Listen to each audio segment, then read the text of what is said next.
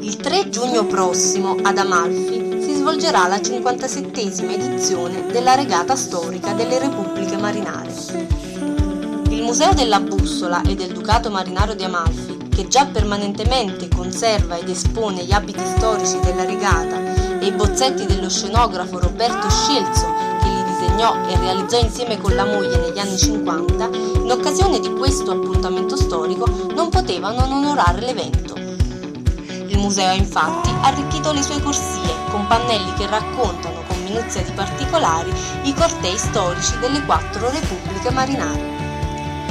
Visitando l'Arsenale avrete così modo di conoscere la storia della manifestazione, nata dall'idea di un pisano negli anni 50, anche attraverso un videodocumentario che racconta non solo la storia dei cortei storici, ma che descrive con attenzione anche il palio remiero, raccontandovi le curiosità e le caratteristiche tecniche degli allenamenti preparatori e della finale competizione, nonché il rigido regolamento di gara.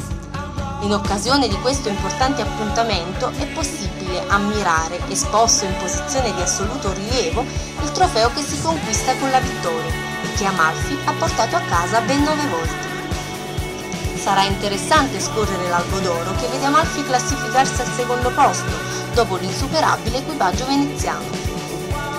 Un'opportunità per prepararsi a questa memorabile manifestazione non solo, un invito alle scuole per approfondire la storia e le tradizioni del nostro territorio ed infine una maniera per garantire a tutti i turisti che visitano Amalfi durante il corso dell'anno e non solo il 3 giugno la possibilità di conoscere, di apprezzare e vivere questo evento.